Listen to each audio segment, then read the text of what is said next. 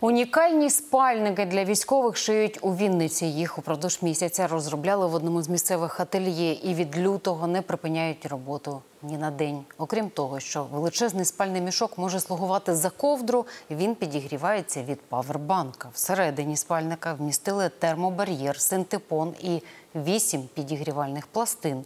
Мішок має три режими підігріву, а штучне хутро додає тепла і затишку. І з таким спальником не страшний мороз під мінус 15.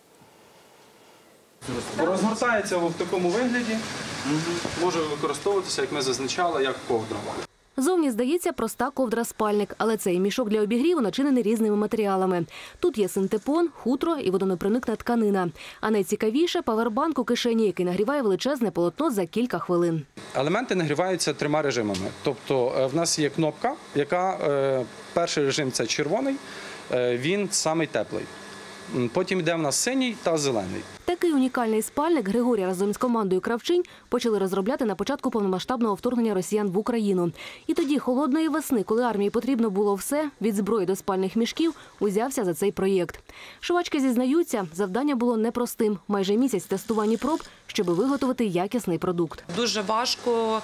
Е, Думали, що це буде нереально його шити, але справляємося, розподіляємо по всій довжині, е, щоб було е, тепло в ноги, е, тепло було по всьому тілі. Розподіляємо це все, щоб рівномірно віздєвно нагрівало. Кравчиня Аліса Бондар за місяці роботи пошила десятки спальників. У жінки майже ювелірна робота. Треба прикріпити до тканини термоелементи, які роблять ці мішки дуже теплими. довго, тому що тут провода, щоб їх не зацепити. Так прошити треба акуратно, щоб провода не попали під іголку. Потім, як нарушиться, то вже тоді не буде працювати. У таких спальниках не страшні навіть мінус 15. Разом із мішками почали шити теплі жилети. Вони сконструйовані за тим же принципом: павербанк, підігрів і тепло. Вставляємо павербанк. Ось ми зажали кнопку. Зараз вона заблимала. Це е, режим підігріву. Тобто він зараз спочатку підігрівається. Вага таких виробів із підігрівом невелика. Спальний мішок менше 2,5 кілограмів. А головне живлення від павербанка безпечне. Навіть при намоканні 12 вольт, який має пристрій, не завдадуть жодної шкоди.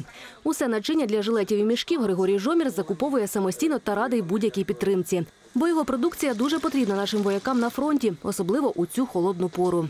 Людмила Цимбалюк, Анатолій Дмитрієв. Факти. СІТВ. Єдині новини.